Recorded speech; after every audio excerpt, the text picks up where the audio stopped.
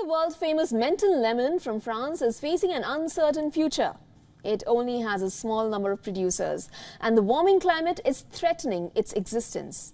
According to a sixth generation lemon grower in, Men- in Menton region of France, the annual production is decreasing gradually.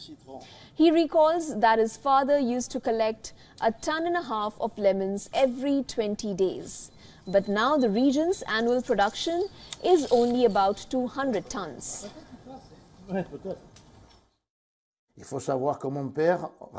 The valleys of Mentone were covered in lemon groves. There were lemon trees everywhere.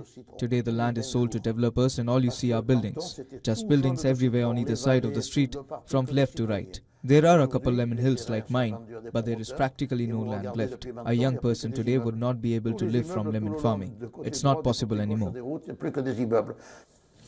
Menton, which was once a leading lemon growing region in Europe, is now witnessing several lemon growers moving into different professions as they break the family tradition to find employment somewhere else.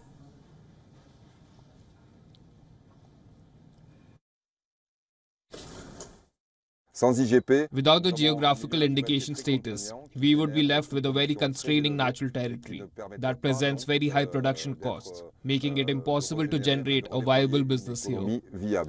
Now, what makes the Menton lemon special is the mild climate of the region in France. The protective mountain range, proximity to the sea, and the steady sunshine with moderate rain during winter months. The sandstone rich soil gives the lemon its distinct flavor. Il y a des aciers qui tombent. Alors, on va changer.